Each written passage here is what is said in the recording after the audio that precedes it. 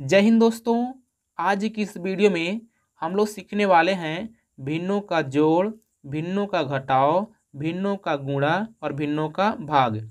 यानी कि इसी वीडियो में हम लोग भिन्नों का जोड़, घटाव, गुणा, भाग ये चारों चीज़ें सीख जाएँगे। सो so फ्रेंड्स इस वीडियो को आप शुरू से लेकर अंतिम तक एकदम ध्यान से देखिएगा और रफ कलम से लिख भी लेना और आप प्रैक्टिस करना। चलो देखते हैं।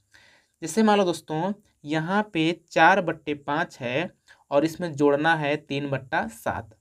अब दोस्तों, आपको तो इतना पता है कि अगर दोनों का जो हर है, अगर अलग अलग रहता है तो क्या करते हैं? कि चार बट्टे पाँच लिखेंगे और ये वाला प्लस में तीन बट्टा सात लिखेंगे। यानी कि हमने अभी केवल इसको लिखा है। और इधर गुणा का चिन्ह लगाएँगे और इधर भी गुणा का चिन्ह लगाएँगे। तो इसमें क्या करते हैं कि इस वाले सात से ऊपर नीचे गुणा कराएँगे, देखो। यानी कि ये वाला सात से हमने इसमें गुणा कर दिया और इसमें ये वाला पाँच से करेंगे।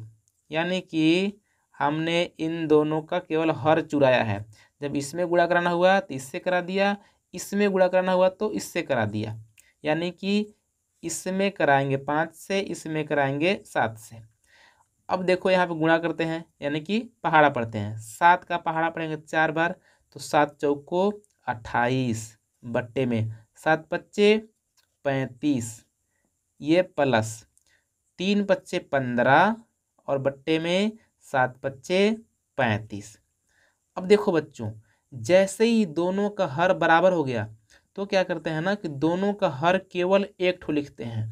यानी कि दोनों का हर केवल एक ठो लिखेंगे और ऊपर वाला सेम टू सेम लिखेंगे, यानी कि अट्ठाईस प्लस पंद्रह। जब अट्ठाईस में पंद्रह जोड़ेंगे तो कितनी हो जाएगी? फोर्टी थ्री कितनी हो जाएगी? फोर्टी थ्री यानी कि तैंतालीस। और बट्टा में जो पैंतीस है, उसको लिख लेंगे। तो ये आपका हो गया बच्चों, भिन्नों का जोड़। यानी कि बच्चों, इसका सिस्टम ये होता है कि मान लीजिए अगर पाँच बट्टा सात होता और तीन बट्टा सात होता। तो यहाँ पे दोनों का जो हर है, नीचे वाला, ये बराबर है। तो इसमें क्या है बच्चों कि इन दोनों का जो नीचे वाला हर है, बराबर है। जब हर बराबर होता है तो केवल एक ठो लिखते हैं और ऊपर वाला सेम टू सेम लिख करके और पाँच, तीन, आठ बट्टे सात करते हैं। ये कब करते हैं ऐसा? जब दोनों का हर बराबर होता है। लेकिन जब बराबर नहीं होता है तो हम लोग बराबर करते हैं। अब बराबर करने का नियम यह है कि आप इसका गुणा इसमें करा देंगे और इसका गुणा इसमें करा देंगे। जैसे हमने किया, देखिए दोनों का हर बराबर हो गया। जब बराबर हो जाएगा तो एक ठो लिखेंगे और ऊपर वाला सेम टू सेम लिखेंगे, जोड़ करके और बट्टे लिख देंगे, आपका हो जाएगा आंसर अब देखो, यहाँ देखते हैं भिन्नों का घटाव। दोस्तों, यहाँ भी दोनों का हर बराबर नहीं है तो यहाँ भी सेम नियम करेंगे। कैसे करेंगे? जैसा कि मैंने आपको बताया कि आपको सेम टू सेम लिखना है और गुणा का चिन्ह इधर, गुणा का चिन्ह इधर करना है। इस वाले पाँच गुणा इसमें करेंगे तो पाँच बट्टे पाँच। ये वाला सात गुणा इधर करेंगे तो सात बट्टे सात।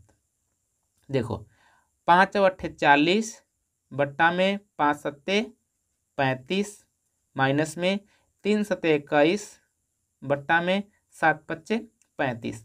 अब यहाँ देखो आप कि दोनों का जो हर है नीचे वाला बराबर हो गया तो एक ठो लिखेंगे और ऊपर चालीस माइनस इक्कीस लिखेंगे, यानी कि अब यहाँ पे घटाएँगे। माइनस तो घटाएँगे, अगर प्लस हो तो जोड़ लेते। तो चालीस में इक्कीस घटाएँगे तो उन्नीस बचेगा और बट्टे में पैंतीस। तो ये आपका होगा बच्चों आंसर। गुणा में क्या करते हैं ना बच्चों गुणा एकदम सिंपल होता है। गुणा में ना ऊपर का पहाड़ा ऊपर पढ़ते हैं और नीचे का पहाड़ा नीचे पढ़ देंगे। आपका आंसर हो जाएगा। जैसे कि सात का पहाड़ा पढ़ेंगे दो में तो सात दूना चौदह।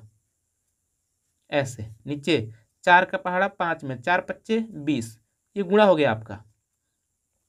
अब देखते हैं भाग कैसे करते हैं। भाग क्या करते हैं बच्चों? कि जो ऊपर है, जो पहला वाला संख्या है, उसको कुछ भी नहीं करेंगे। यानी कि जो चार बट्टे पाँच था, इसको कुछ नहीं करना है। और जो भाग का चिन्ह है इसको करेंगे गुणा का चिन्ह। और इधर वाले को पलट देंगे, यानी कि दस ऊपर चल जाएगा और दो नीचे आ जाएगा। तो अब पहाड़ा पढ़ेंगे ऊपर का ऊपर और नीचे का नीचे। तो दस चौको चालीस, यानी कि चार दहा में चालीस और बट्टे में पाँच दूनी दस। अब दोस्तों, अगर ऊपर नीचे ज़ीरो आ गया तो ज़ीरो से ज़ीरो आप काट भी सकते हैं तो आपका चार बट्टे एक हो जाएगा और ये आपका आंसर हो जाएगा।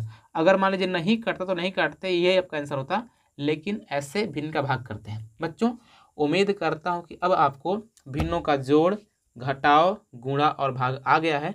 अगर आई हो तो इस वीडियो को प्लीज़ लाइक करके चैनल को सब्सक्राइब कीजिए। मिलते हैं किसी और वीडियो में। तब तक नमस्कार, जय हिंद।